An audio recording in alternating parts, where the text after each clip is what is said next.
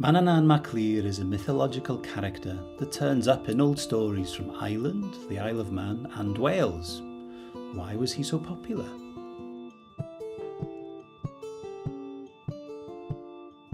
Hello, my name is Gwilym Morris Baird, and this is Celtic Source. In Irish myth, Manannán mac Lir is one of the leaders of the Tuatha Danann, the semi-divine race that inhabited Ireland in the mythical past.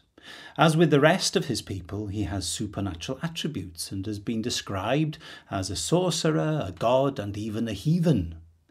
The Irish Mananan makes one of his earliest appearances in the 9th century voyage of Bran, where an Irish king sets out to sea to discover the wondrous land of women, an otherworldly paradise of perpetual youth and beauty. While out at sea, Bran and his men witness a wonder, a man riding a chariot across the waves towards them. This man says he is Manannán mac Lir and recites a poem where he relates many wondrous things to the mortal king. Manannán begins by claiming that what Bran sees as the sea, he himself perceives as a great plain covered in flowers. What is a clear sea for the proud skiff in which Bran is? That is a happy plain with profusion of flowers to me from the chariot of two wheels. He claims this fruitful plain is his land and that it contains many inhabitants that are invisible to Bran. He also says that his kingdom is a land of perpetual youth. We are from the beginning of creation, without old age, without consummation of earth. Hence we expect not that there should be frailty. The sin has not come to us.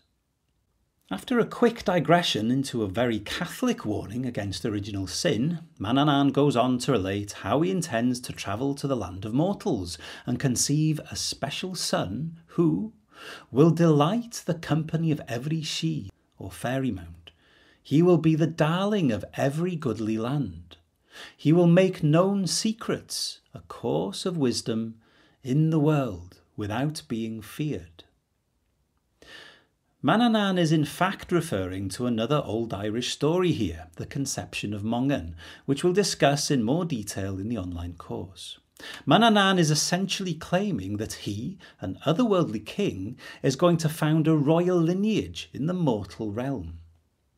This very evocative depiction of Manannán mac Lir is one of the clearest images we have of him, and he retains this essential character in several other Irish tales, not only taking on the leadership of his immortal brethren, the Tuatha De Danann, but also striving to influence the world of mortals.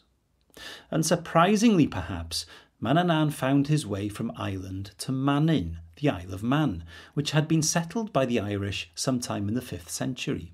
The Gaelic speakers that settled there arrived with an already ancient cultural history, and although that culture evolved into something uniquely Manx over time, the Gaelic roots of their identity was preserved across the centuries. Mananan Maclear, or Manin Beg Macaliacha, as the Manx came to call him, was one of the cornerstones of the continuing Celtic identity of the Isle of Man, so much so that they named their island after him. The island may well have had supernatural associations before the Irish settled there, and with it being named after this mythical sorcerer king, immortal god of the ancient world, the otherworldly status of man was firmly cemented. There are suggestions that not only the Irish, but also the Scots and the Welsh considered the Isle of Man to be an otherworldly paradise, home and birthplace of gods and heroes. In a Gaelic poem in praise of one of its 12th century kings, the Isle of Man is called Ewain Avalach, an enchanted land of apples and abundance. This sounds very similar to the name of a mythical Welsh king known as Avallach, who was also the mythical ancestor of several royal lineages in Wales. This, of course, is the origin of the name Avalon in English. In Manx tradition, Mannin Beg mac y Leagher, or Little Mannin, son of Leagher, was a mythical king of Man, well loved by his people. He was a mild ruler the tribute that he exacted from his followers was a bart of liacha glass, green sedge. The word leagher is Manx for a person who deserved to be rewarded. Mannin acquired the name on account of being a person who deserved to be rewarded. According to custom, this tribute of green sedge was given every Midsummer's Eve up until relatively recently. The common folk of the island would lay handfuls of this tall grass along the paths to churches or carry it to the tops of hills.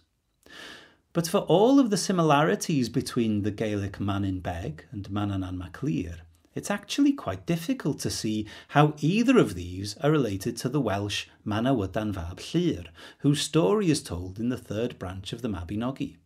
Apart from their almost identical names, there are very few explicit similarities between the Welsh and Gaelic versions of this mythical king. The one similarity that's easy to spot is that they all have some connection to Enchanted Mist, Manannán mac Lir can supposedly summon up a great mist, as in the adventure of Cormac, and according to folk tradition, Mannin Beg can shroud the Isle of Man in mist so as to hide it from his enemies. The Welsh Manawydan is also associated with enchanted mist in the third branch of the Mabinogi, but as an enchantment against him called up by his enemy. But if we look a little closer, we can actually find many other similarities between the stories of these three characters.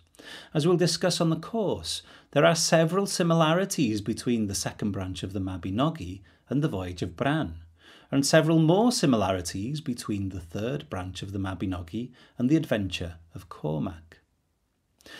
One thing that all of these similarities boil down to is the fact that Manannán is closely related to the idea of a good king. In Irish myth, he is portrayed as the leader of the Tuatha Dé Danann in their final, difficult days, leading them to immortal safety in the mounds. As mentioned in Manx folklore, Mannin was one who not only received tribute from his subjects, but was one who fully deserved it, suggesting he was a good king. In the Welsh triads, Manawydan is known as one of the three humble chieftains of Britain, because even though he didn't seek a kingdom, neither could one be denied him, so great was his virtue. In essence, Manannán is an ideal of kingship, a celebration of the perfect male ruler. This basic similarity between the Gaelic and Welsh stories suggests that both cultures inherited the same basic figure from their common ancestor, the earlier common Celtic. It could well be the case that Manannán mac Lir is a figure whose roots stretch back to the time before the Welsh and Gaelic languages diverged. According to some scholars, Common Celtic diverged into P and Q Celtic probably no later than the end of the Bronze Age, about 800 BC. Is this a credible argument for the antiquity of this important mythological figure? Or did the Welsh just borrow Manannán from the Irish, or vice versa? Let me know what you think in the comment section below. If you found this video interesting, please like and share, and if you want to see more, subscribe and click the bell. You can find the different sources I use to make this video at celticsource.online. Just follow the link in the description below. Diolch yn fawr iawn.